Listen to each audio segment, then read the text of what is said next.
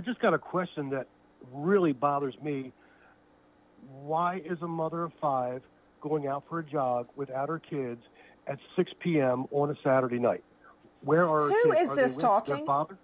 Is Ron this Bateman, Bateman? Okay, Ron. Bateman. Um, I need to drag you into 2022. Guess what? Women go jogging when they can. How do I know if there was an aunt or the boyfriend or whoever with the children? And guess what? Sometimes we go jogging in shorts and a jogging bra. I want you to sit down when you hear the rest of it.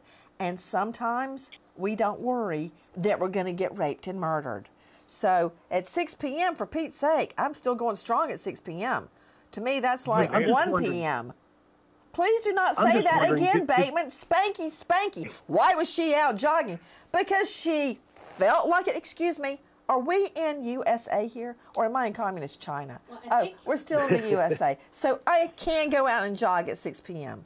I think What are I'm you defending him? Jackie is defending Nancy- you. FYI. Go. I think he means why wondering- didn't she have her kids with him? Because that's usually an. an Oh, so you're going to take five children that are toddlers with you when you jog.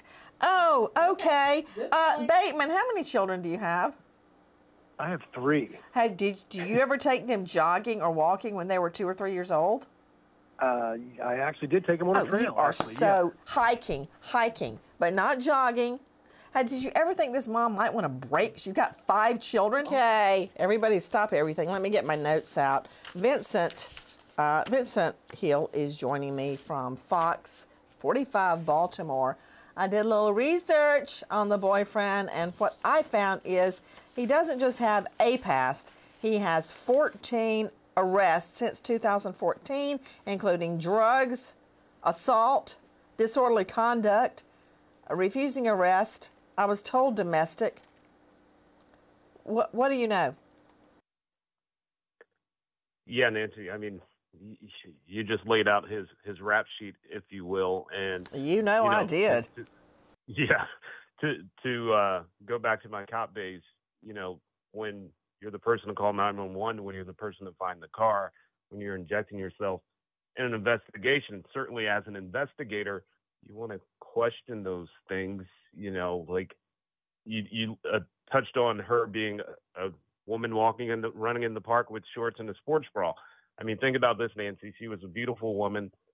At six o'clock, the sun is still up. I'm thinking a hundred people would have noticed her running through that park just because eyes glazed on beauty, right? So, you know, we don't have a bunch of people coming forward to say, "Oh yeah, I saw her running in this trail at six o'clock," then there's a, a problem with the statements made by the boyfriend. Okay. Why do you say that there is a problem with statements made by the boyfriend? Well, I mean, think about it, Nancy. She did go to this trail, she was Yeah. on a run. She's a very noticeable person. People would have noticed. Yes, I saw her. yeah, nobody would trail. notice an ugly bag like me. Is that what you're trying to say? Thanks. Go ahead. I'm, um, I'm not saying that. They wouldn't notice me running through the trail, Nancy. I'm just, I'm just saying she will. She would probably catch eyes if she was in that trail, right? So, as an investigator, I'd want people to come forward and say, "Yes, I saw her at 6:15. I was walking my dog. She ran past me. She smiled and said hello."